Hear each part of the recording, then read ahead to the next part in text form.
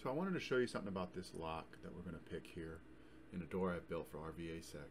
Now it's got five pins and I wanted to show you this last pin here sets pretty high then the fourth pin sets low third pin sets low the second pin sets high and then look at this I don't even know if you can see that but right here the fifth pin it sets almost at the neck of the key here and that's incredibly high in fact higher than I would have expected it to set.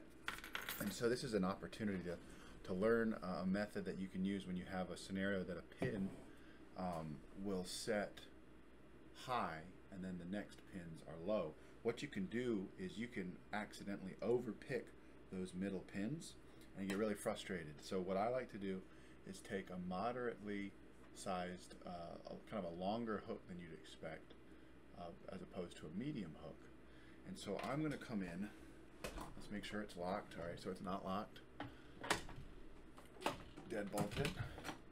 So I'm going to take this longer hook. I'm going to put tension in mostly to pick locks in real life. You're going to be going counterclockwise. And I'm going to go all the way back to the last pin that we saw set high. And then we understand that the pins um, right in front of it, pins four and three, set really low. So I like to go to my medium hook right after setting that pin behind those pins that set high.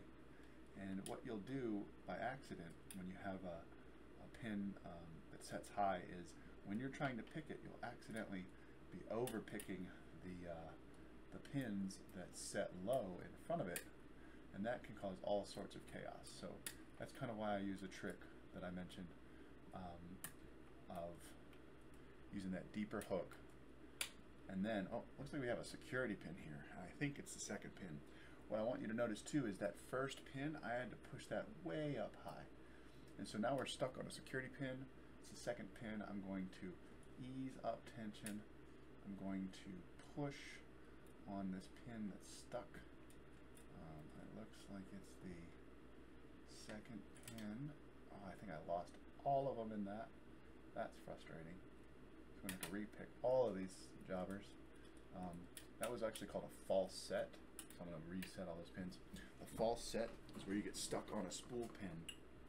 Um, I'll describe that in a little bit more detail. So I got to pick it all over again. That's frustrating. Getting to a false set, at least you know what pin you need to work on. So here I go again. I take my deeper hook, go to the back. I set the last pin, and then I gently go in and make sure that sometimes those middle pins, you might just need to touch them. You may not even need to hardly do anything to uh, to get those to set. I jammed the, uh, oh, there we have it. And we pick the lock.